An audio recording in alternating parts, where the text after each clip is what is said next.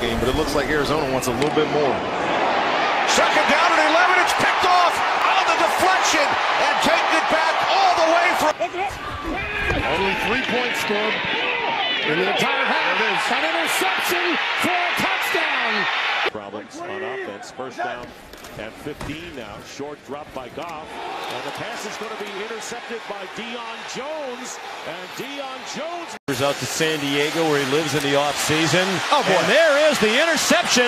And it's Deion Jones, the New Orleans native who grew up here and had never been in the dome prior to tonight. He's in the dome and he's in.